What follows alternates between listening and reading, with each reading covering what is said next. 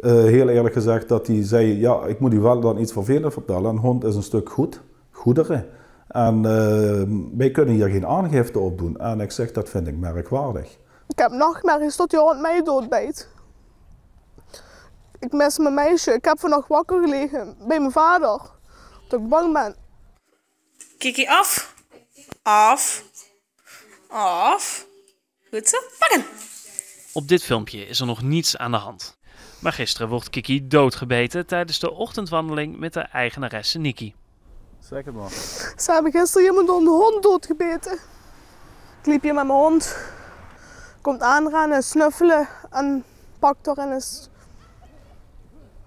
beter kapot. Dood. Aangifte doen is volgens de politie onmogelijk.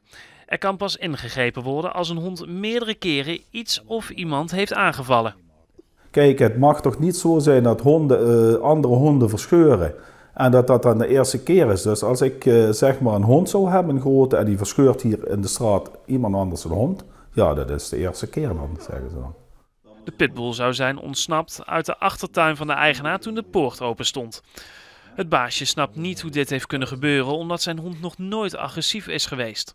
Om herhaling te voorkomen denkt hij er dan ook over om agressietrainingen met zijn hond te gaan volgen. Maar voor Henry is dat niet genoeg. Of het niet verstandiger is om uh, zo'n hond uit het verkeer te trekken.